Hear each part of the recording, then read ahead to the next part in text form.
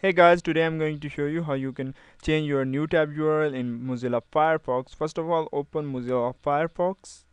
Uh, as you can see that our um, website is set to my default home page and uh, also a new tab URL is also set to my default home page.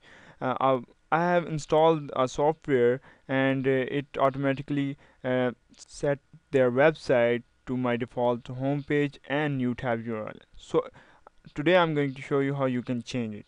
Uh, if you want to change your homepage URL just go to tools then option and here you can remove it or you can enter any URL that you want okay?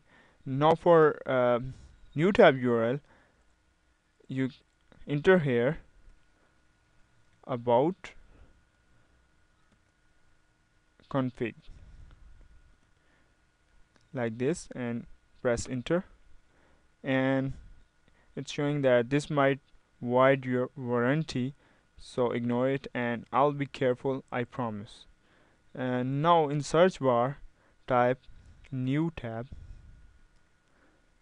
And here you can see that in second row saying new tab URL and value set it to URL uh, which software has installed.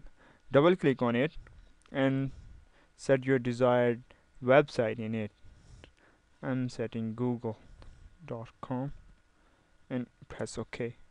Uh, and then close your Firefox and reopen your Firefox. And now you can see that homepage is changed to google.com and new page URL or new tab URL is also changed. Thank you guys for watching and if you have any question feel free to ask and don't forget to subscribe me.